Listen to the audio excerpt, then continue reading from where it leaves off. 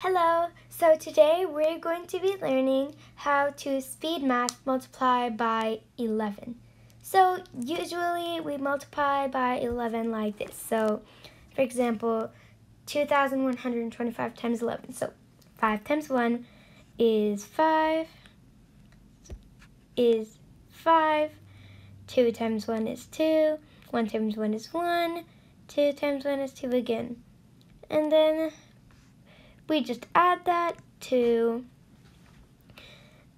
so we add a zero and then we just do the same thing again. And then we add it.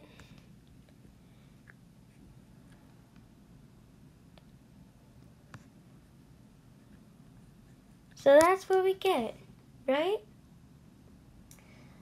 Okay, but that takes a long time. There's another simpler method to solve this problem. Okay, so let's learn how to solve it this way. So to solve it the speed math way, we're going to pull down the 2. We're going to first write it like this, and then we're going to pull down the 2 just write it over here. Now, we're just going to add this to this, 2 to 1, 1 to 2, and 2 to 5. And we're going to bring down the 5 at the very end. So first we're going to pull down to 2. And now we're going to do 2 plus 1. 2 plus 1 is 3. Now we're going to do 1 plus 2. 1 plus 2 is also 3. And now 2 plus 5. 2 plus 5 is 7. And now we're just going to pull down the 5. So that's the answer. And we got the same thing, except this one this method took shorter amount of time rather than this method where we had to multiply, then we had to add, and then get the final answer, right? So there's also a tricky part to solving it this way. Okay, so let's see. Let's try to solve this question.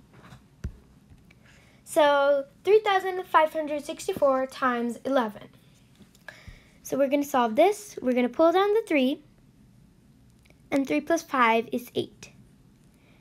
Now, 5 plus 6 is 11.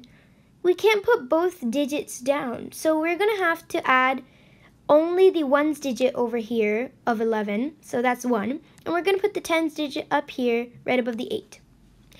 Then, since we finished 5 plus 6, we're going to do 6 plus 4, 4 which is 10. So we're going to put the 0 and the 10 over here the ones place. Then the tens place, which is the one, we're going to put it up there.